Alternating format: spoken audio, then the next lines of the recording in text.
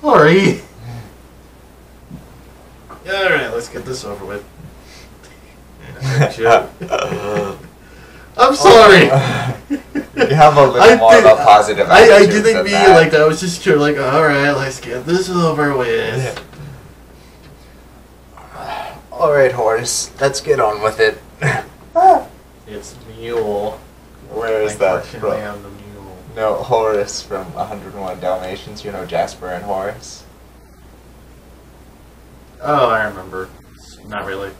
I can remember their faces, but I can't remember the line. It's been a long, long time since I've seen any of the movie, any of the Dalmatian ones, or the old or the new ones. Well, really-ish. They were made a few years ago. Yes. Alright. Hmm, time to start pandering to the masses. Well, we're pandering to a specific crowd. Oh, well, I plan to expand the crowd into, well, video games. Hope you know that. Yes. Good day, everyone. Tis I, the. You were scratching your bum, weren't you? You were I was scratching, scratching your. the small of my back. Alright, that's slightly better. I'm sorry, I'm itchy, okay? I mean, bottom. You were scratching his bottom. I was scratching my rear end. What's the big deal? Get over it. Bottom! Bottoms up, really? He needs to grow up. so do you. At least I can say it with a mature face. Here's like, bottom. Well, I can. The BBC would like to apologize for the poor quality of the writing in that sketch. It is not BBC policy to get easy laughs with words like bum, knickers, botty, or wee-wees. These are the words which are not to be used again on this program.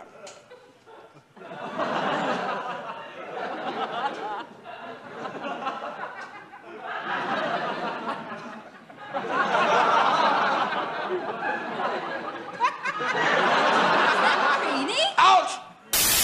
Good day, everyone. Tis I, the Blue Baron, defender of traditionalism. It is Traditio Monarchia! And his faithful assistant, the beer Canadian.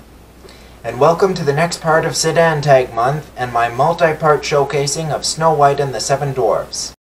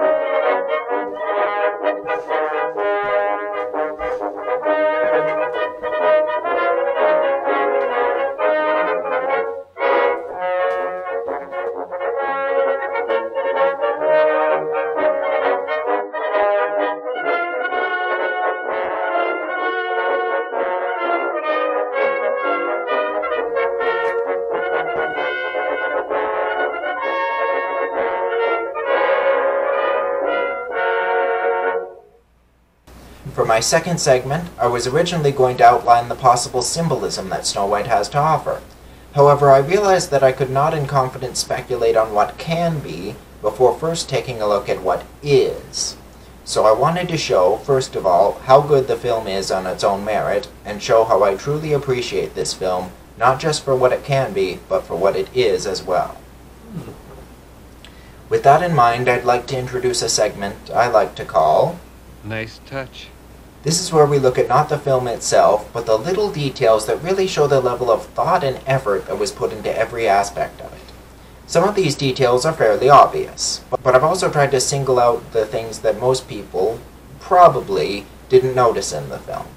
I was originally going to list these in order of the likelihood of you having noticed them, but I ran into time constraints and decided to just list them in the order they appeared. So without further ado, here is Nice Touch.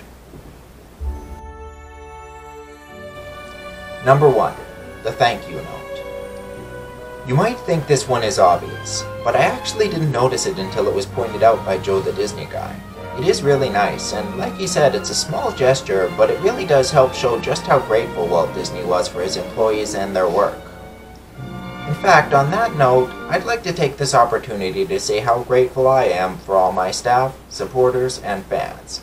I don't have time to name you all here, but know that, like Disney, my sincere appreciation goes out to my supporters and staff whose loyalty and creative endeavors made possible this production. Especially considering I'm the only guy who agreed to work with you. Yes, but I have fans already, and I'd like to thank them. Oh, You know who you are, everyone. Oh, true. We only have one staff. One. I think I'm here just add my lovely voice to the videos. Number 2. The Vintage Storybook Opening. I'm sure everyone here knows and loves the vintage storybook opening to Snow White. But what you may not know is just how much the film revolved around that storybook theme. Walt wanted the entire film to have a European storybook-like feel. And to accomplish this, he hired some of the leading European illustrators of the time, such as Albert Hurter and Gustaf Tenggren, with Hurter in particular having to approve the design of anything that was to go in the film, even if it was just, as Joe the Disney guy said, rocks in the background. Instead of a narrator, we'll use actual writing on the screen, both at the beginning and the end, to help complete that storybook feel. Hmm. Also, have you ever looked closely at the book shown in the opening and closing segments of the film? Walt Disney actually had his crew create a live-action prop storybook for that scene, and filmed it atop a blue velvet tablecloth. It's kind of amazing they were able to make the pages look like they were turning by themselves. I mean, doing that with a drawing is one thing. Doing that with a real object on camera, that's something else entirely. What's also amazing is that, believe it or not, that prop not only still exists today, which is a feat in itself considering its age, but is in great condition, was recently on tour in Japan as part of their Power of Princess exhibit, and has, along with that of Sleeping Beauty, had a storybook prop replicas made of it by Kevin Kidney and Jody Daly, which are available for purchase by the public, some of which are on eBay. Really? I want one. How much? $700 US. Wow. Ouch. But if you have PayPal credit, it gives you the option of a payment plan of $34 per month over a period of 24 months.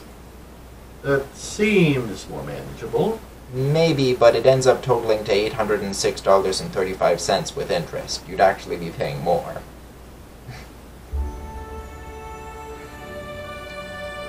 Number 3. The opening shot.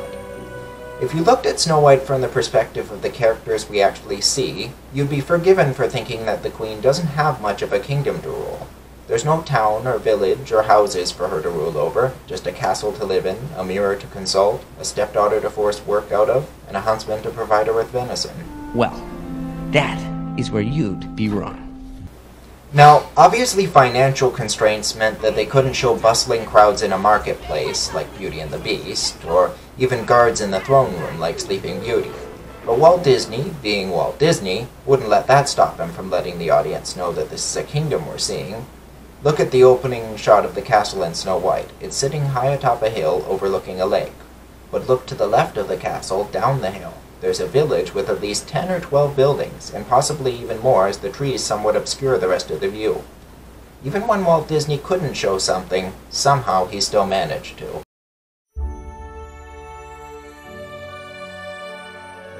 Number 4. The Castle. The opening shot of the castle, with half of it in shadow and half in sunlight, has also been interpreted by some as symbolic of the presence of both good, Snow White, and evil, Wicked Queen, in the castle.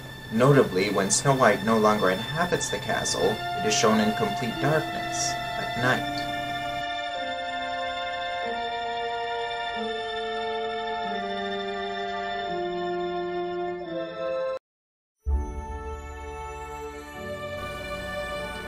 Number 5. The Prince's Outfit.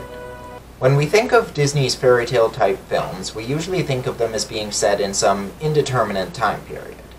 Actually, Walt Disney composed each story with the intention that it be used to represent a certain time period, and he and his company added many clues as to what it was that most people didn't notice. Props if you know what line I'm referencing here. For example, the prince's outfit. Notice that he has a white undertunic with puffy sleeves and a royal blue sleeveless tunic with gold trim over that. His outfit is completed by a red and black cape, as well as being accentuated with a feathered hat and a dagger worn at his belt. Now, what do all these things have in common? The symbolic nature. No, number one. We're saving that for the symbolism segment. One thing at a time. What era do his clothes seem to denote?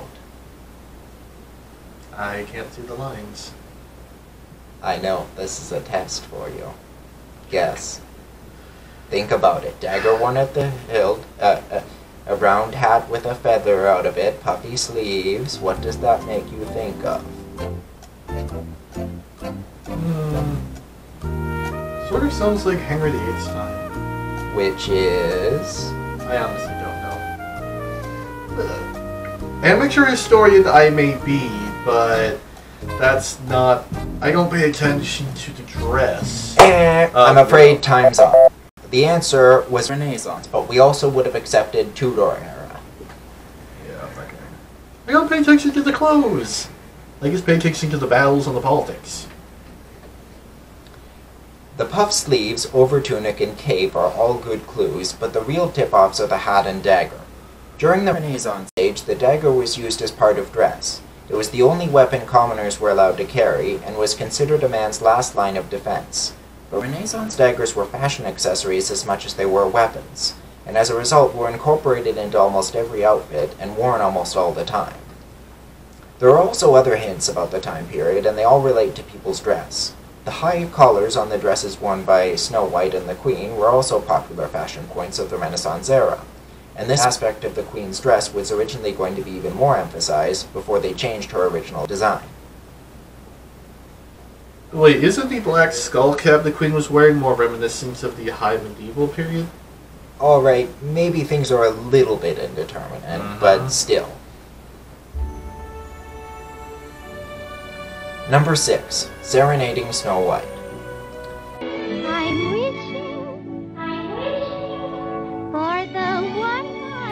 Even after all the films that have come since, the prince's serenading of Snow White in the film remains one of the most romantic moments in Disney history. He rightly takes off his hat in the presence of Snow White. His speech transitions into song perfectly, and we get the perfect romantic backdrop to the scene with flowering trees seen around the courtyard of the castle. Snow White comes out from behind the curtain of her balcony and delivers a kiss to the prince by way of one of the doves that follow her around. Doves are, among other things, one of the great symbols of love.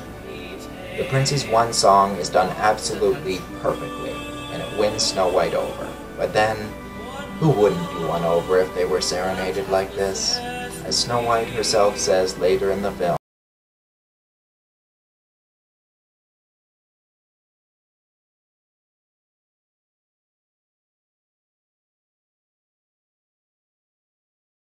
I doubt anyone serenaded by such a charming, handsome, romantic man such as this.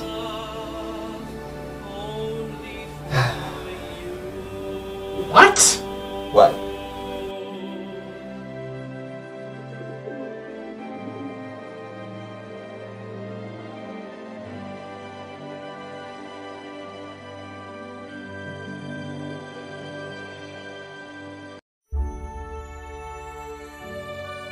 Number 7. Snow White's Chambers. Note how when Snow White is startled by the prince's sudden appearance, she flees from the courtyard, through a door into a room with a balcony. Now, it's never explicitly stated which room this is, but its proximity to the well and the simple nature that we see within makes me think that this is Snow White's room. Think about it. We know from the writing in the opening that the Queen forced Snow White to work as a scullery maid in her own home. And one of the chief duties of a scullery maid was to wash dishes, as well as other things, all of which would benefit from a close proximity to the castle's water source, as well as the water jug we see on the table to her left here, which she would go to fill in the well and then bring back to her room to use the water contained within to clean the pots and pans. Now that is a nice touch. Even if they wouldn't be very clean, if you think about it. Well, she'd use soap. They did have soap back then, you know. Soap they had. Soap they used? Not so much. The rich people were more commonly known to use perfume, just soap. For Historically for- accurate, Yes, for yes. one's body, but uh, washing dishes was slightly different. Fair enough on that. I still wouldn't trust anything coming on those plates.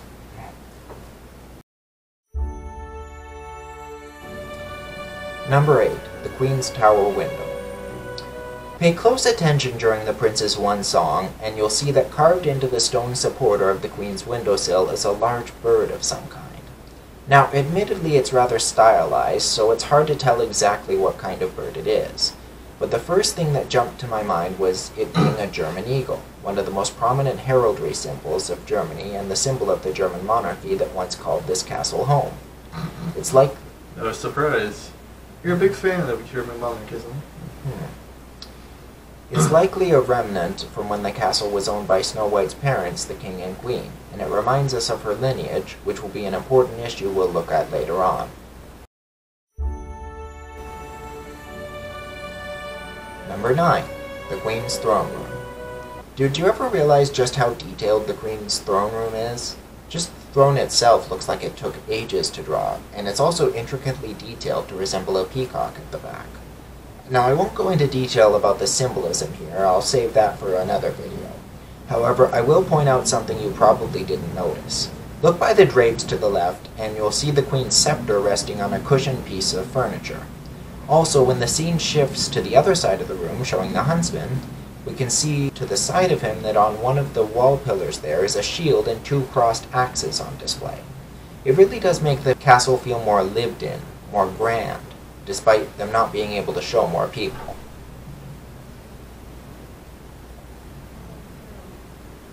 Thank you for letting us know. You're just in time. You're Perfect timing. I was rude before. I didn't say hello. Ah, well, hello to you too. Take a, take a look at him, Baya. Take a look at him. Whoa. He very got a trim and a haircut. Doesn't he Very look like a handsome Thank you. gentleman? Yes, I like the beard trimmed. Ah, thank you. You're welcome. I will keep that. Yes. It's a nice little thing.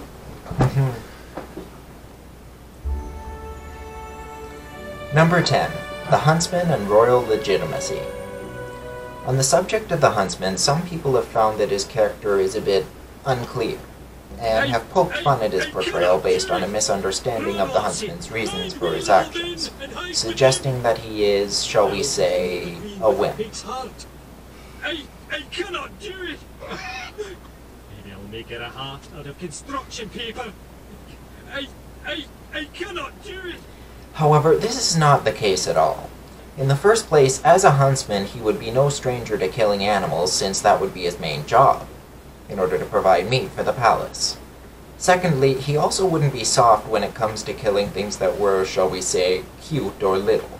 Venison, which comes from deer, would have been the meat of choice for monarchs back then, particularly a ruler as status obsessed as Grimhilda. However, a huntsman would also have learned to catch other game as well, including ground-dwelling game birds such as grouse, partridge, pheasant, and quail, as well as rabbit and other small mammals. You're making me hungry. I didn't think that would. You're, I don't think you've had game birds before. Not having rabbit. Even though I want to, but my sister would kill me. Hmm.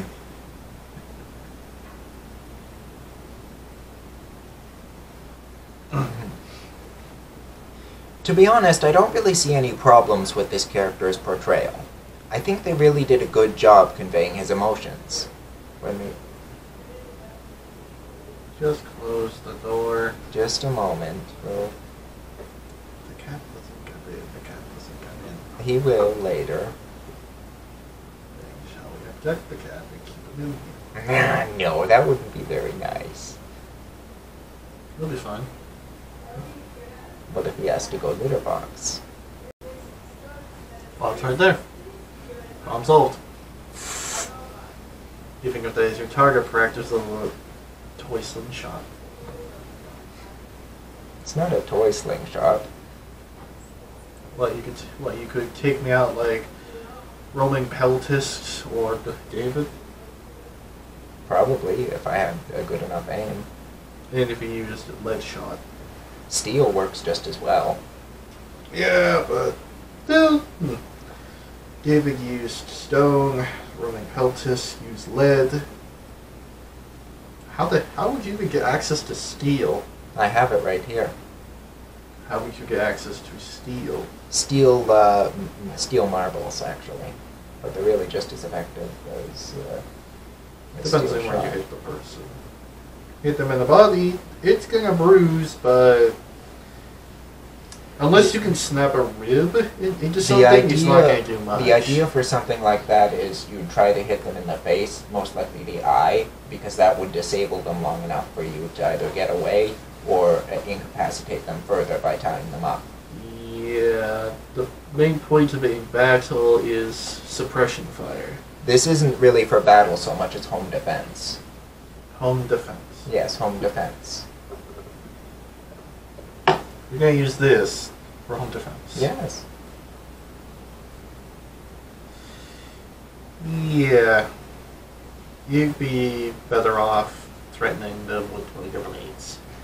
Steel shot, remember? This is for long distance. This is for if something happens downstairs and I'm upstairs, uh, it, it, and they have uh, a way of uh, long distance. Well, I sneak up around the banister, and I fire one of those steel marbles at their eye, knock their eye out. Then, while they're covering themselves, saying "My eye, my eye," I tackle them to the ground and then tie them up. There's also the fact of pain usually equals to anger. Anger equals to adrenaline. Adrenaline equals you're gonna get the socks beaten out of you. Yes, but pain also equals distraction. At least momentarily. Plus, while they're distracted, I can fire another shot if I need to and take out their other eye. Your aim is that good? What, Probably not, practicing? but uh, wherever it hits on your face, it's going to hurt. Oh, believe me, I've got no doubt. Best thing to trying to do, though, taking someone's eye out, great. Probably better get hit from the mouth, though. Knocking teeth out hurts.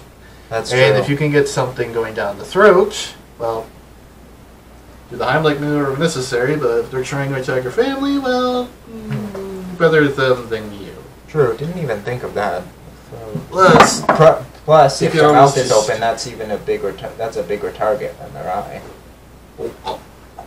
they, they can't do anything. They're Mhm. choking. Also, you can just hide this behind your back as you come downstairs and then stab them in the leg.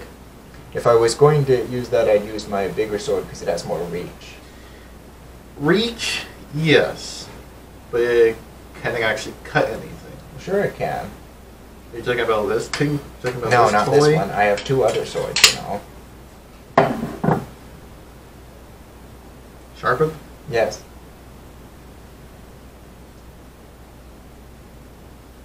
Aim for the crotch. No, that's excessively cruel. The gut will do just fine. That's lethal. Really? Actually, no. Aiming. The Romans always knew a few places to aim: the throat, the gut, and the crotch area. Those will bleed out quickly. So if you stab them, bleed out, or it's lethal. You stab them in the gut. There's a whole bunch of stuff they need to live. So if you rip that Oh right, it was it was shooting them in the stomach they can live through. It's stabbing them in Stabbing, especially if you do, say, quick twist. If you twist, that does more damage. How did we get here from discussing uh, uh, from discussing Snow White? We talked about animals, then we talked about hunting, I guess. Then we talked about blades. sunshots. And then we just discussed home defense, and then I discussed the best way to take someone down. Hit him, hit him in the throat, obvious reason. Punch him hard enough in the throat, and they're done. You know, you Americans are lucky. You have your right to bear arms, so you can just have a, a gun with you. We Canadians have to get really creative with home defense. Eh, I don't see what's the big deal about it. Given the fact that the blade seems bladed, if you manage to throw it properly, it's a knife. And the blade is sharp enough that if I did this hard enough, I could cut my skin. So you know, Just be careful with that. I haven't cut myself with any blades or glass yet. No, nope. I cut myself a glass once when I was cleaning, but you know, the blade, never. No knives, no blades, no nothing. I've been blessed on that mark. Actually, I'll just keep this on my. Where was it? Uh, Oh, yes. Oh. Now, back to business. Uh, to be honest, I don't really see any problems with this character's portrayal. I think they really did a good job conveying his emotions. When we first see him, he's stoic and collected in the presence of the wicked queen, and accepts her orders without hesitation, not even showing much emotion. Yet as soon as he hears that he must kill Snow White, the emotion on his face becomes apparent, and his voice is filled with shock. A lot of people make jokes about how it was Snow White's beauty that saved her from the huntsman, but I think there was a lot more to it than that. Notice how when he objects to the Queen's orders, the first thing he says is, But your majesty, the little princess. to which she responds with, Silence! and reminds him of the penalty should he fail in his task, forcing him to lower his arms in defeat. Yes, your majesty. And yet, when it comes time for him to carry out the task, he cannot bring himself to do it, and says to Snow White, Forgive me. I beg of your highness, forgive me. Note that he refers to her as the little princess and your highness. The queen never refers to her as these things, for she wishes not to be reminded that Snow White is the legitimate successor, the rightful ruler. But the huntsman knows that she is, and this is the main reason why he cannot bring himself to do it, for it would be treachery of the highest order. Highest order? Read your Dante. He then warns Snow White, She's mad, jealous of you. She'll stop at nothing. Wait a second. What? Is she jealous or envious? Both. How can she be both? Do you even know what the difference is?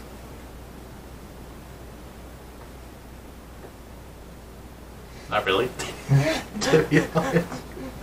Most people don't. Uh, it's uh, Jealousy is when you're worried someone will take what you have. Envy is wanting what someone else has. Why is the queen jealous of Snow White? Because she's worried that Snow White will take what she has, that is, her place as fairest one of all.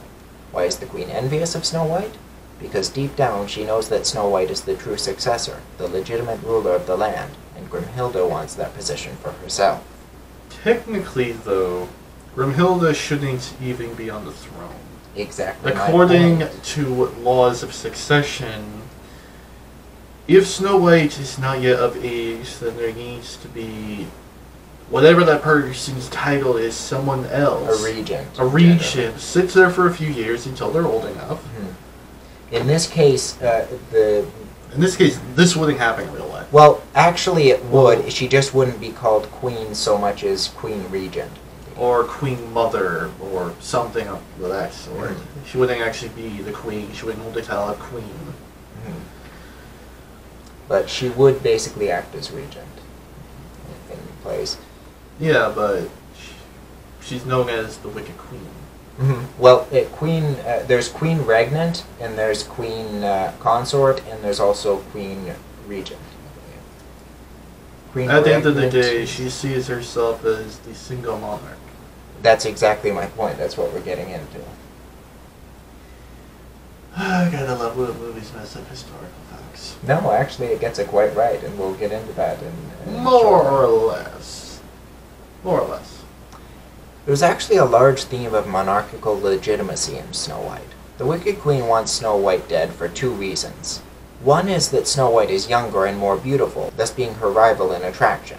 And in those times, a woman's power came from beauty. In those times, how is that any different from today? Touche. I think, if anything, women today are, uh, are more objectified than they were in the past. Objectified? Yes, objectified. You know, just seen as being something pretty to look at, as opposed to seen as being people. Or as an object to some people, which is in of itself sickening. Anyway, the second reason is that the queen isn't the true ruler of the land. She simply took the power from her husband, Snow White's father, after he died. Think the Lion King in terms of that. Since Snow White is the true ruler by blood, in order for the queen to keep a strong hold on her usurped throne, she needs to take out the threat of her stepdaughter revolting against her. And because their age difference is there and has already affected her place as fairest of them all, it creates an easy opportunity for the queen to strike a blow.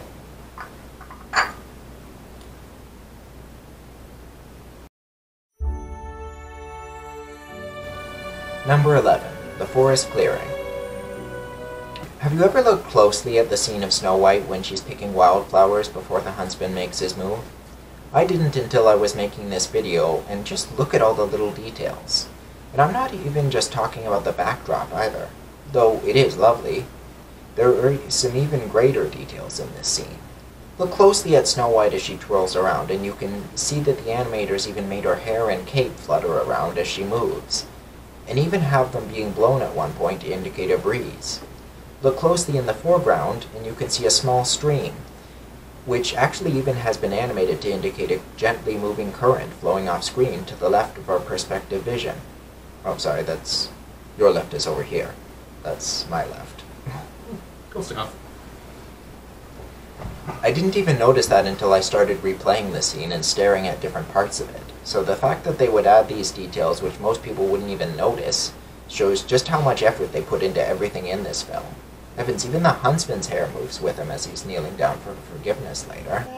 Also, remember this scene takes place shortly after Snow White is serenaded by the prince with his one song. And if one listens closely, they can hear that as Snow White is picking wildflowers, she begins singing his song herself.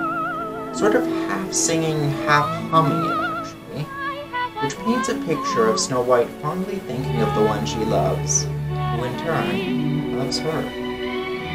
It's a shame though that she never sings this song in its entirety, but there is someone who did, and who in singing this song herself brings a sort of completion to that scene, which I find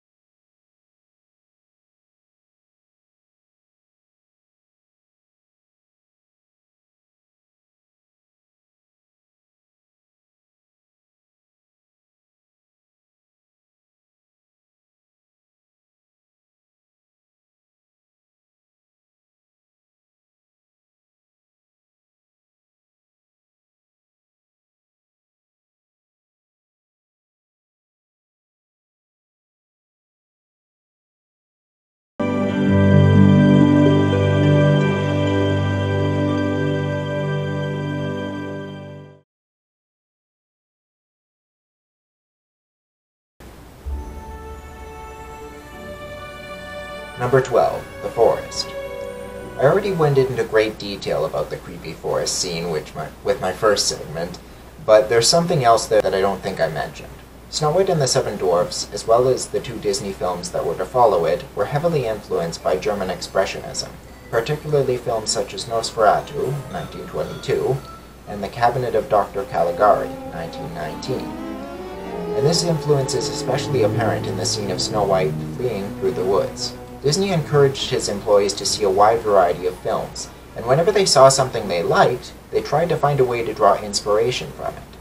Other instances of this in Snow White include having Snow White be on a balcony as the prince serenades her, and the scene of Snow White in the glass coffin, both of which were inspired by similar scenes in MGM's Romeo and Juliet. The Queen's transformation into the witch also drew inspiration from Dr. Jekyll and Mr. Hyde from 1931, to which Disney made specific reference in story meetings. Number 13. Rhymes Without Reason. I don't know if all of it was intentional or not, but there's actually quite a bit of rhyming in Snow White. Well, duh. When the queen summons the spirit of the magic mirror, she does it through rhyme. Everyone note the quotes. Everyone, everyone note the quote she. Magic mirror on the wall. Who is the Yes, but I mean more than just that. Another of Walt Disney's main concerns in the film was that he wanted the music to be perfectly integrated into the story, and he accomplished this in what I think was a very clever way. Whenever a character sings a song in the film, they start out by speaking a sentence or two in rhyme, which then leads into the song itself. Take, for example, the first song in the film, I'm Wishing. Snow White speaks two sentences to the doves, and then the first verse in this song connects to those sentences by following the same rhyme scheme. The same thing is done with the prince's one song and Snow White's with a smile and a song, as well as Whistle While You Work. In fact, it's done in pretty much every song with the exception of Dig Dig Dig and Hi Ho. Hi ho! And there are also rhyming sentences interspersed throughout the film not leading into a song, said by Snow White, the dwarfs, and the Queen. To be honest, I really like it. Not only does it flawlessly integrate the music, the rhymes make Snow White feel even more like a literary work, in keeping with the European storybook theme of the film. Number 14, The Dwarf's Cottage. This one is a big one. You wouldn't think from the outside that the dwelling of the seven dwarfs is anything too grand. It's just a simple, quaint little cottage with a stream in front of it, though that stream is admittedly very nice. However, that is before you realize all the detail that went into the inside. Yes, when Snow White finds the cottage in its untidy state, there are dishes, clothes, dust, even spider webs all over the place, which the animators all had to draw. Poor guys. Correct. However, that's just the parts that people would be focusing on. Those parts had to be there, had to be detailed, but the animators really went above and beyond the bare necessities. Their necessities. Your worries and your strife. Yeah, I don't know the full song. Uh, yes. Uh, the animators really went above and beyond the bare essentials when it came to laying out the cottage. In fact, before Snow White even steps inside, we see how much detail was put into the cottage itself. As Snow White is crossing the bridge, we see a wood-cutting axe leaning against a tree. As she comes closer, we see a second axe sitting atop a tree stump. And as she reaches the door, we can see a shovel and a pickaxe leaning against the wooden bench under the window, as well as a saw leaning against a barrel. Hmm. When she steps in the door, we can see the door frame itself is highly detailed and appears to have carved owls in it. More on that later. Hanging to the left of the door is a lantern, and below that on the floor is a wooden box with what appears to be a carved lion rampant on it. Atop the box is a jug with a cork in it, and leaning against the box is another spare pickaxe. To the right of the door is a wooden tub with some spare wood in it, a metal tub, a rake, and a couple of metal pails. As Snow White walks further inside and passes the stairs, we see a third spare pickaxe leaning against a wooden barrel with a cork plug, along with what appears to be a dustpan leaning next to another, larger barrel. And then when Snow White sees the chair, there is a fourth spare pickaxe leaning against the wall near it. Wait a minute, that wasn't there before. There was some kind of pot.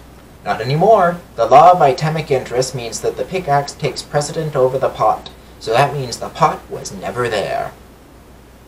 You just pulled that out of your hat, didn't you? I assure you, there's nothing in my. Alright, maybe I did. Case in point. There also appears to be another pickaxe lying on the floor in the doorway to the next room. Anyway, only after all this does Snow White finally come across the table, on which there is a sixth spare pickaxe.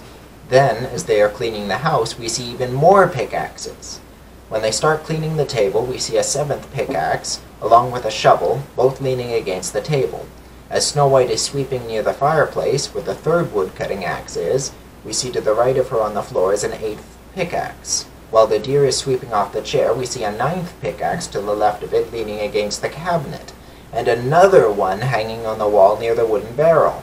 Then, as the chipmunks are pulling the overalls across the room, they trip over an eleventh pickaxe.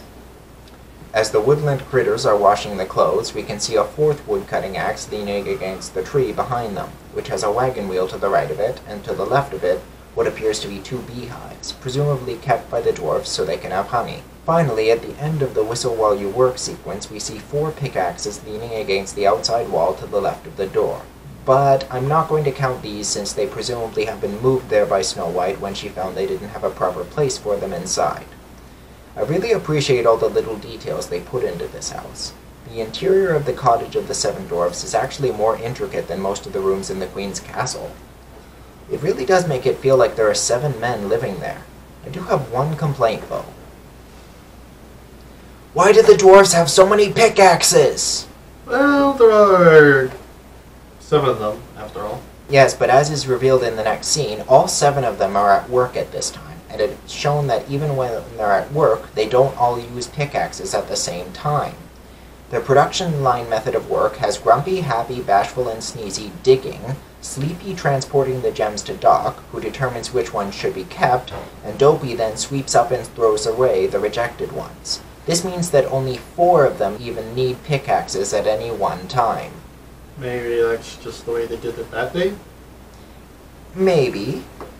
But when they leave work, all of them are holding pickaxes, except Doc, who's holding a lantern, but that's made up for by the spare pickaxe and shovel leaning against a rock in their mine, which nobody takes with them when they leave. This means that all seven of them had all the pickaxes they could possibly need with them at work today. So why on earth do they need 11 extra pickaxes at home? Maybe they each want a spare, in case the main one breaks. I doubt it. As we see on the way home, Dopey's pickaxe appears to have had the front point broken off, yet he's kept on bringing it anyway. Maybe it's only been broken just that day. Alright, fair enough, but that still leaves three unneeded pickaxes. And when Snow White goes upstairs, we see as she enters that leaning against the wooden trunk on the right is a twelfth pickaxe. Directly in front of Sneezy's bed is another pickaxe, and to the right of Sleepy's bed is another, making a total of 14 pickaxes. Even accounting for each of them needing a spare, that's still seven unneeded pickaxes. Why are you complaining so much about this one little detail? Two reasons. One, because it's such a waste. Those pickaxes could be given to someone who doesn't have any pickaxes to use and would appreciate them very much. Like, you? Perhaps. Wait, what's the second reason? It's funny.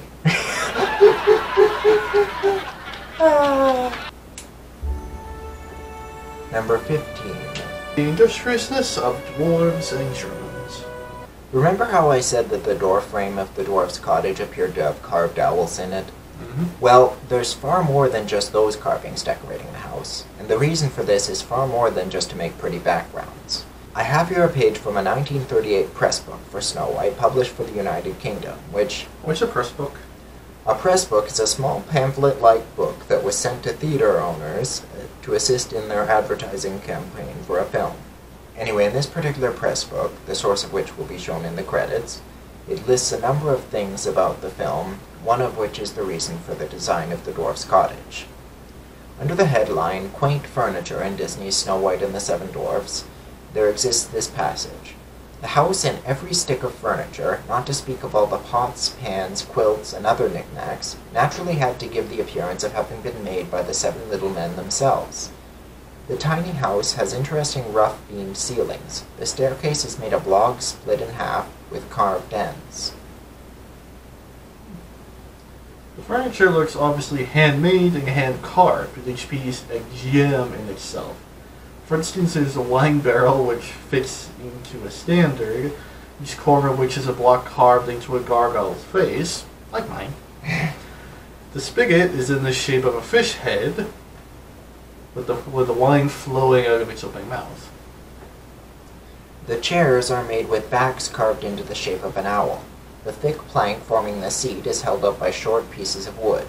The two front chair supporters carved into the shape of fat little rabbits standing on their haunches. The owl motif is further carried out above one of the cupboards with the support of a little wall shelf also carved into an owl. The doors are framed with heavy carved beams with fantastic gargoyle head featured. Each dwarf's bed has his name deeply carved into the footboard, and each dwarf has his own wooden chest with his name on it. We can see that it's very clear to the audience that everything in the house is being handmade by the dwarves themselves, and this demonstrates a large amount of industriousness on their part. Consider that the semi-dwarves by their trade are miners. They work in the mine daily, roughly from 7 in the morning to around 5 Nine, p.m. nine. Sorry. Consider that the semi dwarves by their trade are miners. They work in their day, mine daily from roughly seven. Bleh. Why do I keep on saying? roughly, it's nine on the dot. We see it on their little clock in their house that they left at nine. Well, they left at nine, but they work at nine to. Oh no, wait. They got there at nine, I think. So they leave probably like half an They hour or leave so at before, five. at least. Consider that the seven dwarves by their trade are miners. They work in the mine daily from roughly 9 in the morning to around 5 in the afternoon. They also clearly are skilled lumberjacks, carpenters, and wood carvers, as they would have had to chop the wood themselves, as evidenced by the several tree trunks surrounding the cottage. Tree stumps. Tree stumps, Yes. tree correction, stumps. As well as cut, playing, and put together themselves, and they didn't even stop there, as they went the extra mile and put intricate carvings just into just about every wooden furniture piece in the house, as well as the house itself, which in and of itself is really impressive. Mm-hmm. I can't do that. What's really amazing, though, is that this would mean they also made everything else in the house themselves, which would mean that though they mine jewels by trade, they also must mine metal and be skilled in smelting and shaping it to make their pots, pans, cutlery, and household items. Not to mention the metal parts of their tools like wood cutting axes, saws, hammers, and of course their pickaxes, which I still think they have too many of. But back to the point, they also would be skilled sculptors of clay for their porcelain items, such as their plates, bowls, and beer steins. And in order to have made all their metal tools, they would have had to use their pottery skills to form crucibles with which to smelt metal. Boy, don't you just love that word? Crucible! Just sounds so epic, awe-inspiring. Sounds like something from a video game.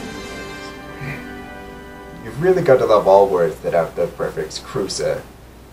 Cruciger, crucifix, crucifer, cruciferous. They all just sound so neat. Anyway, the dwarfs therefore are miners, lumberjacks, smelters, woodcarvers, carpenters, sculptors, and pottery makers. All this shows the industriousness of the seven dwarfs, and is a very good analogy for the industriousness of the German people, which we'll look at in our next segment.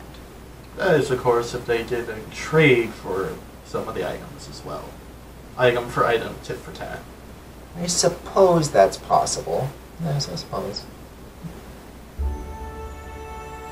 Number 16. The comedy. There's something special about the comedy in Snow White and the Seven Dwarfs. Most of Disney's cartoons have been mainly comedies, but Snow White was a different sort of story. In the press book I mentioned earlier, another page states, unlike the funny Mickeys and Sillies, referring to Walt Disney's Mickey Mouse cartoons and Silly Symphonies, Snow White and the Seven Dwarfs has several emotional ingredients besides humor. These include high drama, pathos, excitement, and suspense. There is, of course, an abundance of comedy, particularly in the scenes devoted to the dwarfs. True, this type of formula soon came to be applied to most of Disney's films, which even today have managed to include most of these things along with many genuinely funny moments as well. Most of the time,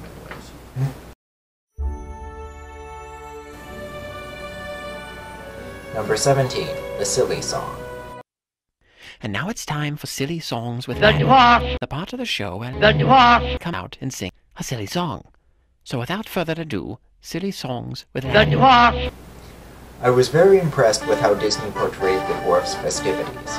The whole sequence calls to mind the traditional lives of the German people, particularly the traditional German values promoted in the traditional Reich system of Germany, and particularly the German Empire or Second Reich.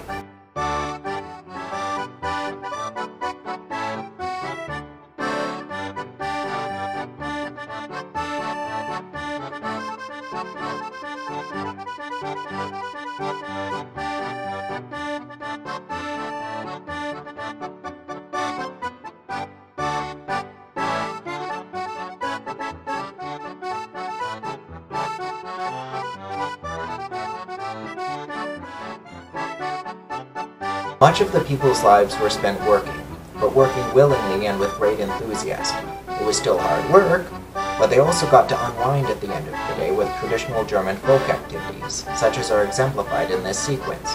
Like the dwarfs say, the words in the song don't mean a thing, but that's alright because it's just meant to be a fun time for everyone. And boy is it.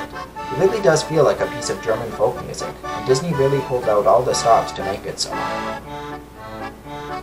You've got traditional German folk instruments exemplified by the use of strings, woodwinds, drums, an accordion, and an old-fashioned pipe organ which, like everything else in the dwarf's cottage, appears to have been made by the dwarfs themselves. What really makes it all work, though, is the fact that a large portion of the song consists of yodeling, probably the most well-known use of sound in German folk music. While we're discussing music, now's a good time to bring up this next point. Number 18. Someday my prince will come. You don't really notice it in her first few songs, but when you hear Someday My Prince Will Come, you realize that Snow White's voice has a quality to it that's hard to describe. Almost like it's on a different level than a normal female voice. This quality is extremely difficult to replicate, and the only woman I know of who has managed to, well, besides Snow White's official voice actress, of course, is another fellow YouTuber of mine named Lana Nana, whose cover I've included here. Somehow, she managed to match this quality of Snow White's voice almost perfectly, so much so that I actually had to remind myself that this was a cover and not the original song.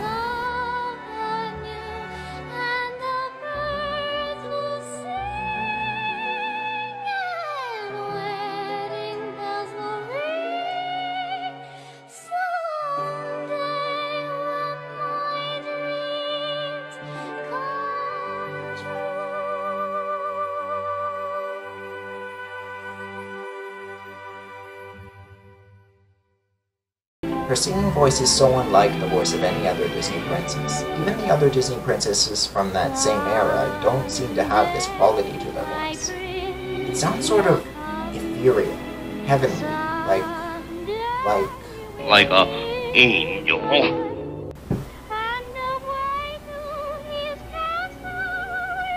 While we're on the subject of heavenly things, that brings me to my next point. 19. Snow White, Purity and Godliness. As we transition to the next scene and see Snow White going to bed, her habit of prayer before retiring for the night reminds us of something very important. Goodness and godliness go hand in hand. Everything about Snow White is shown to be virtuous, which emphasizes the difference and the conflict between the virtuousness of Snow White and the wickedness of the Queen. We are also shown, ultimately, the sources of these two natures. Snow White puts her faith in God for her life to turn out well, whereas Grimhilda prefers to trust in nothing but her own power, and therefore turns to witchcraft and astrology. Snow White spends most of her time outdoors in nature, and the doves that follow her around the castle courtyard are symbolic of the Holy Spirit, whereas Grimhilda spends most of her time indoors, cut off from creation, and communes with a familiar who I think we all have a good idea of the identity of. However, I'll save the bulk of this theme for later. On to the next one. I've got one. Alright, go ahead. Number 20, Hi Ho!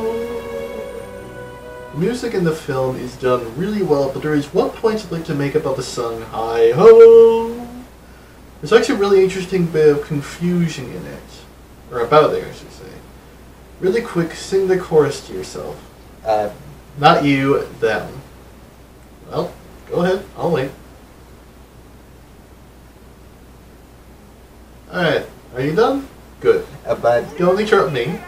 Now let's look at the song as it is in the film itself. Hi ho, hi ho, it's home from work we go. the Quiet, I'm not done.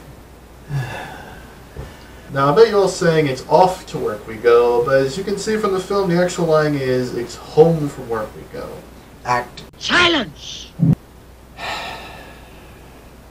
Somehow, over the years, the line has been changed. Even Disney themselves changes it from time to time, so what gives? I'm done. As I was going to say to you regarding the actual line being it's home from work we go, that's not entirely true. What do you mean by that? I mean, it's partially true, but not completely true. Thank you for clearing that up.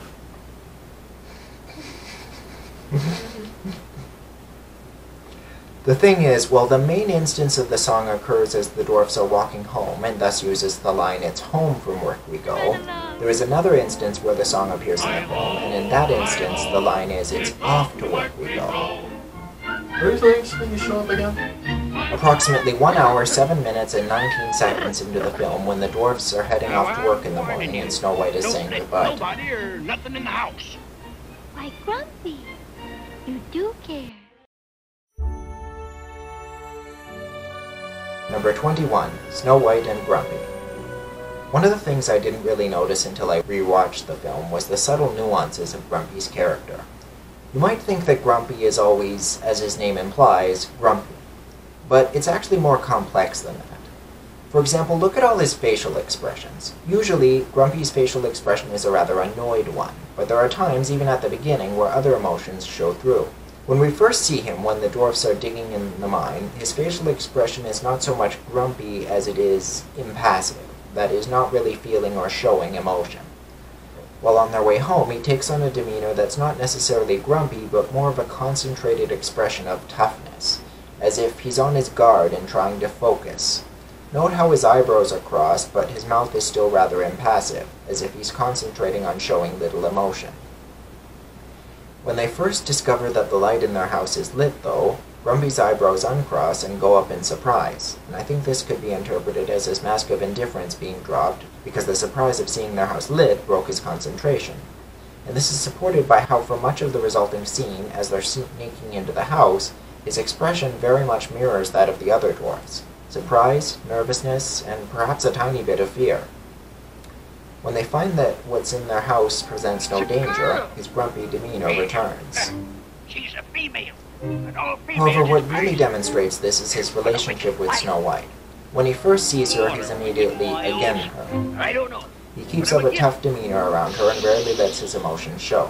In fact, he spends so much time concentrating on not showing his emotions that it interferes with his concentration on what he's doing. Like when he walks into the doorframe. That night, before Snow White goes to bed, the last thing she prays is that Grumpy Oh, yeah. will like her. And she also recognizes that prayer is only the first step toward receiving what one asks for. God also expects people to put effort in themselves. He wants you to actively participate in His plan for you and for those around you. This is why Snow White endeavors to make such nice gestures towards the dwarfs, and it's obvious that Grumpy can't keep his mask of indifference up forever, as even he cares to warn her of danger before leaving the house, and even he is touched by the motherly kiss Snow White gives him before he leaves. He attempts to put his tough demeanor back on shortly after, but it's obvious that not only does he have emotions, they're also quite soft. It also takes so much concentration to put his tough demeanor back on that he ends up walking into a tree, falling into the stream, and bumping his head on the bottom of the bridge. this is actually a very good analogy. When we spend so much time making sure people don't see our emotions, we end up not seeing things ourselves. Well, you know what they say. He who hides his feelings from sight with a mask of indifference will soon impair his own vision. That's it. No more fortune cookies for you. But they're tasty. Snow White continues making nice gestures toward the dwarfs, and we even see that before she was visited by the queen, she had been making a pie especially for Grumpy. Aww. Speaking of which, when the forest animals reveal to the dwarfs that Snow White is in trouble, it is Grumpy who acts first, leading the charge back to the cottage. This fits well with the theme. This fits well. This fits well with his theme of toughness. And there's also one more thing I'd like to point out. Turning to that press book I mentioned earlier, Grumpy's character is summarized as follows. Grumpy, the real leader of this group, is again everything. His chief hate is women. He is grouchy, a crab, and yet, much to his disgust, he has a very soft heart under all the veneer. When trouble arises, it is Grumpy who acts first. Number 22, the dwarfs corner the queen.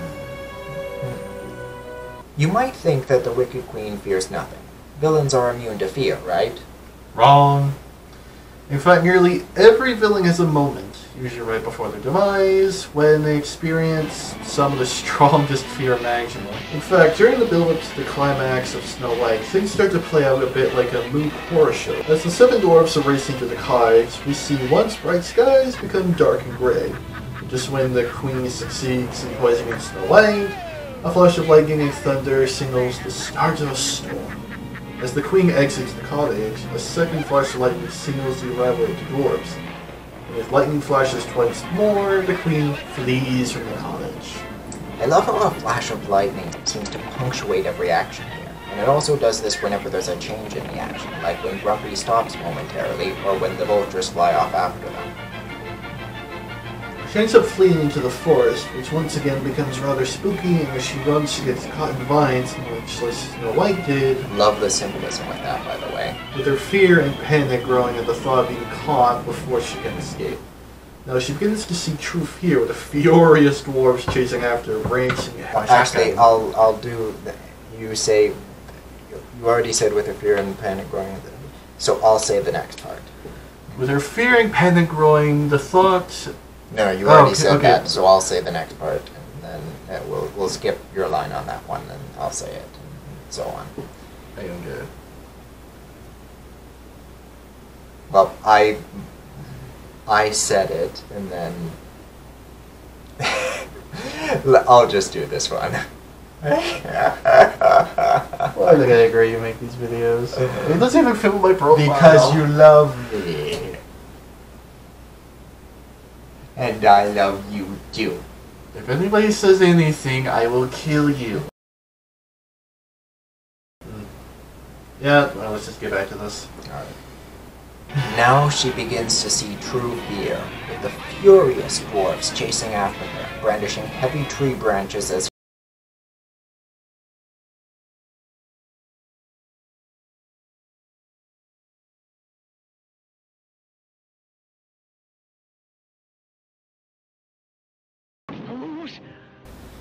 panics for a moment, then her fury at the dwarfs threatening her rises, and lightning brims as she starts dislodging the nearby boulder. But at the last moment, lightning strikes the precipice of the cliff, tearing the rock asunder, and the wicked queen plummets to her doom, being crushed afterwards by the very boulder she was trying to push onto the dwarves.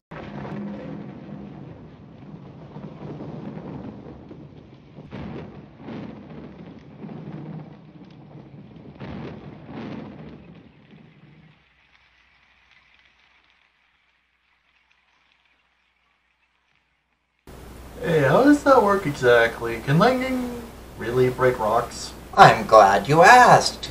Yakko, if you please. And now another useless fact.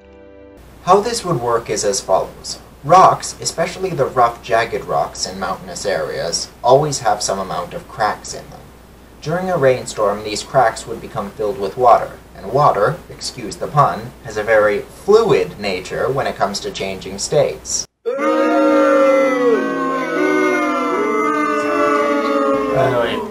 Boo! that was terrible. Hmm. Lightning, as we know, is incredibly hot, and so when it strikes an area, it heats that area rapidly, which would cause the water to evaporate almost instantly, thus expanding and forcing the cracks open wider, weakening the ledge enough for it to fall apart. This has been another useless fact. Number 23, Snow White's death. Sort of. We'll get to that. Remember how I said Disney's main focus was getting the audience to emotionally connect with a drawn character? Yep. I think to tell that they succeeded, we needn't look any further than Snow White's funeral scene. I don't remember whether I cried during it as a child, mainly because my mother gave away my original copy of Snow White while I was still pretty young. But what I do know is that watching Snow White while I was writing this review in preparation, even I shed a few tears. The dwarfs aren't just crying, they're sobbing. And because we as the audience over the course of the film have learned to emotionally connect with the characters, it gets us sobbing too. I think what really hit me the hardest was when Grumpy started crying. He was supposed to be the tough one, yet here he is crying because they've just lost the only woman to ever come into their lives. As males, we have a natural inclination towards being protective of women, so as a result, this sort of thing hits us even harder. Talking of the dwarfs' emotions here, they probably also blame themselves somewhat for not getting there in time to save Snow White. The princess that they were harboring, the whole purpose of which was to keep her safe, has been lost and they weren't able to do anything about it. Probably the only reason I wasn't sobbing too, as opposed to just crying, is because the nature of this review meant I had to be going back and forth from watching the film to writing my script so much that I didn't get as much of a chance to become fully immersed in the story. Yet, I think that just makes it even more impressive, because even when I was watching the film bits at a time, not becoming as immersed as I would have otherwise, I still felt all these emotions watching it. Walt Disney succeeded in spades when it came to generating empathy with his characters and I've cried watching these films on more than a few occasions. you romantic sap, you. You've cried watching animated films too. Okay, fine, I have. Number 24, The Ending. Alright, for this review I watched the film again in its entirety after who knows how many years, and I've got to say, this ending was beautiful. Actually, beautiful doesn't even begin to describe it. I'm lost for words to describe how perfect it is. I shed some tears during Snow White's funeral scene, but when the prince brought her back to life, I was crying tears of joy. And when the film finally ended at the book closed, I was sobbing. Have you ever sobbed tears of joy before? It rarely happens to me, but I was just blown away by this ending, and I was still moist-eyed and holding back sobs while writing this last section. The ending is just so beautiful, so happy, that it leaves you in tears. I don't know what else I can say about it. I, I'm, I, I'm, I'm tearing up a little bit right now just remembering. There, there, you old softy. Do you have any words, number one? Not really. I'm probably fine, to be honest. Nothing you want to say about the ending? Cheesy, cliche. Apart for that, to be honest, not really. I meant something helpful. I don't really feel anything, to be honest. You probably, well, you, no, I seen wouldn't. it in years. No, I wouldn't feel anything. Oh, I think you would. That's back on. Yes. Well, I guess we'll end this one then. I'm the Blue Baron, defender of traditionalism. God bless you all, and remember... It is Traditio Monarchia! If you enjoyed this video, think about leaving a like, comment, or subscribing so you can keep up with our videos and help us reach our goal of 1,000 subscribers. If there's something you didn't like, why not try to, instead of just hitting the dislike button, actually comment and tell us what you feel we could be doing better in the future. Nobody got, ever got better by anonymous dislikes or negative comments that don't explain themselves, but constructive criticism can be a helpful tool. And then, Sedantag. then tag. Yes. What is that thing? I'll explain it later. What does it mean? It's the, it was the national holiday of the German Empire. Why am I not surprised? I'm sorry, I'm itchy, okay? I mean bottom. You were scratching his bottom. I was scratching my rear end. What's the big deal? Get over it. Bottom! Bottoms up, really. He needs to grow up. so do you. At least I can say it with a mature face. He was like, Baltum. Oh, I can. It's just that I choose not to. You know, laughter is often a matter of choice. I can choose to laugh at my own jokes, and it's just as genuine because I can get in the mood of laughter. I'm sorry, you probably didn't want to hear that. I figured it might cheer you up if you know that laughter is a state of mind and you can get into it uh, willingly. You know we're still recording, right? Yes, I do know that. um, fine. Let me worry about my depression and stuff. on my own. Alright, let's try this once more. Venison? Me. That was the meat of You choice. fencing, isn't fencing or something, considering how it's spelled? It's spelled like this. Oh, venison. I always heard, I always thought venison, just like the I in the S always switch places. Maybe you have dyslexia. I don't think so. Like, you read things really easy. It's just, I've always thought it's spelled venison. Maybe that's just, maybe just because I was reading quickly. Who? Maybe it is. Uh, if it is, uh, someone leave that in the comments so we can uh, remember that for next time. And going history as we do, there's likely two to three times as many buildings as actually shown. Most likely. Still, the fact that he uh, that it actually showed that shows he definitely intended it to be a whole kingdom. But The Lego, the Lego stand is damaged. Hmm. Yes, he likes Lego. So do I. I guess don't play with mine anymore. what was I? Oh yes. Wait, isn't the black skull cap the queen wears more reminiscent of the high medieval period? Let's try that one more time. There was a person going by. Wait, isn't the black skull cap the queen was? Wait, one more time. One more time, please. Shut the door! no, I need that in case the cat wants to come in. Okay. He's welcome on camera. I know. Because he's a little star and people love little cats. You know, they've only seen him once. Alright. Uh, Alright. Uh, darn. I was reading the wrong lines. Yes. Even after all the films that have come since, the Princess Serenade say the, the I'm sorry. Precious. You need some tea. Yes, that would be lovely. Number six, serenading Snow White.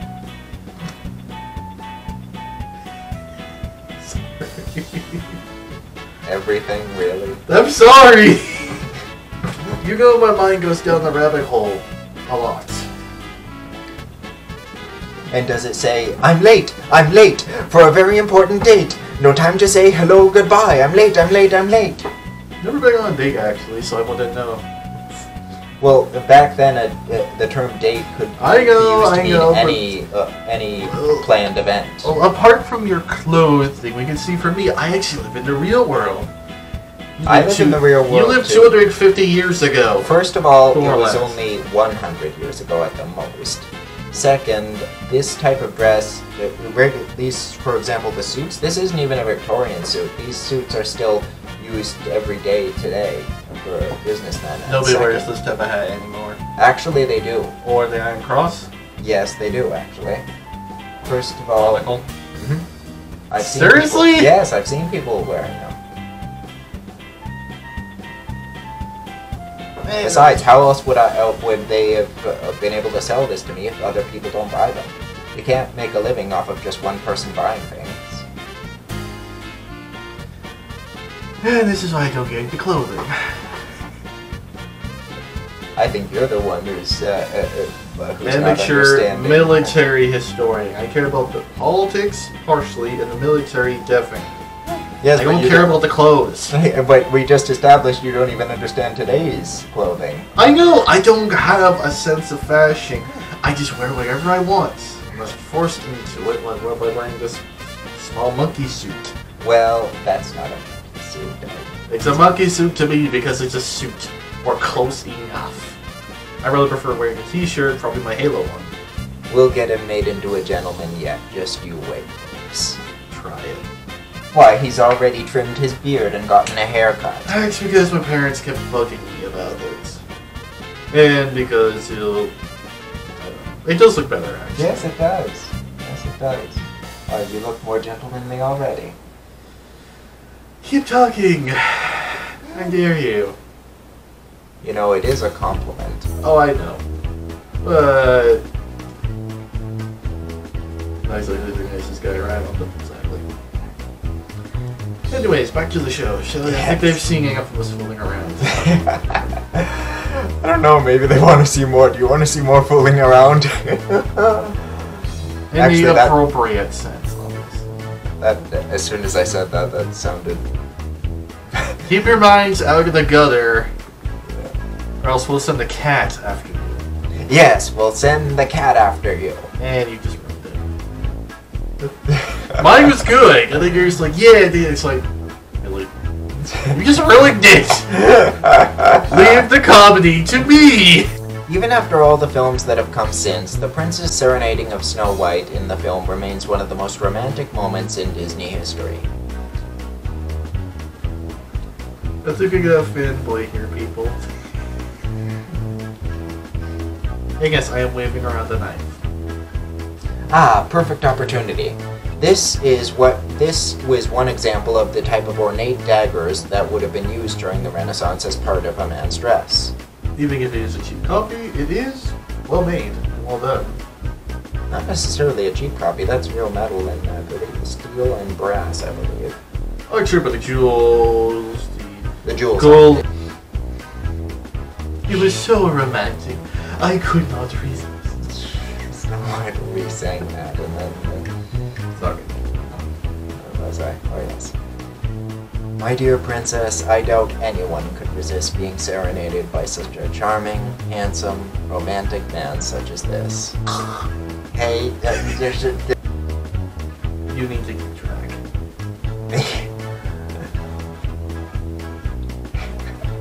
Fanboy. Definitely fanboy. I'll get the duct tape. This is where this is all where I'm setting up for later jokes. Uh, they're still terrible.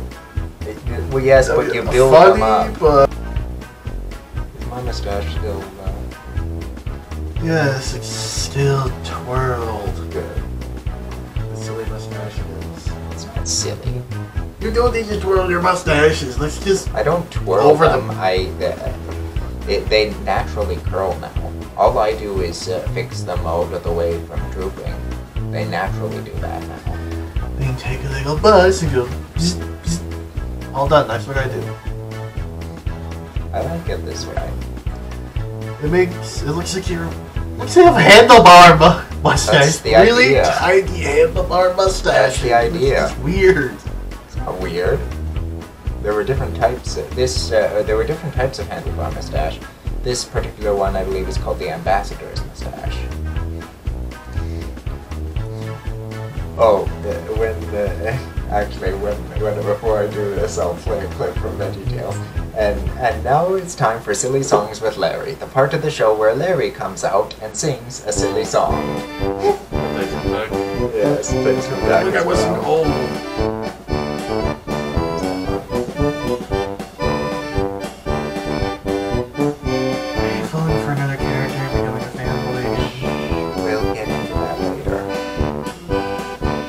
Bet you all sang it's off to work we go. But as you can see from the film, the actual line is it's home from work we go. That part. Silence. Monday. No, you don't say silence. The, you with the queen says Oh. I, I didn't realize. It's just that way. That's how we work in the clip. Also, I don't sing the it's off it's home. I know, but we'll put that. We can put that in later. Hi ho! In fact, during the build-up to the climax of Snow White, things start to play out a bit like a horror show. Look, look. I don't know what that is. I'm. It's basically. It's basically like. Uh, what- it's bas- a mood horror show is basically when the the protagonist, the hero of the story, ends up actually becoming frightening or scary towards the villain.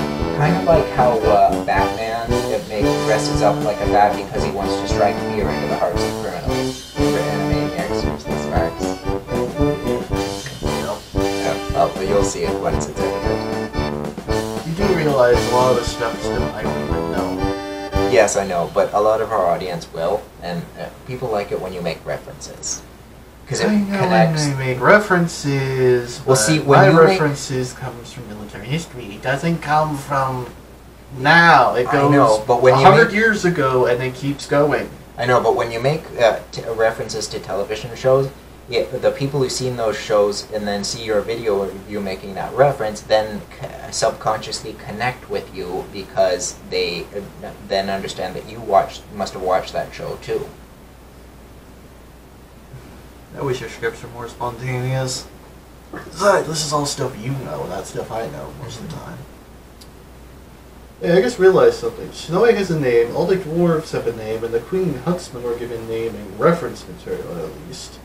Such as the pre-film comic by Hank Porter, so why doesn't the Prince have a name?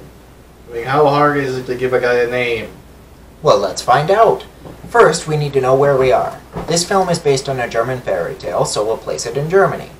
Now, with regards to where in Germany specifically, the UK press book I mentioned earlier states that the original fairy tale of Snow White was based highly on legends surrounding the Harz Mountains, located in this part of Germany. I'll be showing a map. Um, However, Wikipedia's entry on the Wicked Queen places her nationality as Bavarian, and Bavaria is way over here on the map. So, let's just come back to that later. With regards to time frame, the character's mode of dress would likely place it at around the Renaissance period, and this is further hinted at by the dwarfs using yodeling in their song, as while we don't know exactly when yodeling originated, the first record of it occurs in the year 1545. Also, since yodeling mainly originated in the Alps mountain range, this further indicates the likelihood of Snow White taking place somewhere around Bavaria, which is much closer to the Alps than the Harz. Knowing that, let's take a look at common royal names in the Bavarian region in the 1500s. Alright, a quick search yields nothing on that region, but I did find a list of some of the most common names in certain parts of Germany between 1501 and 1550, and Wait a minute. Number one, play the file footage.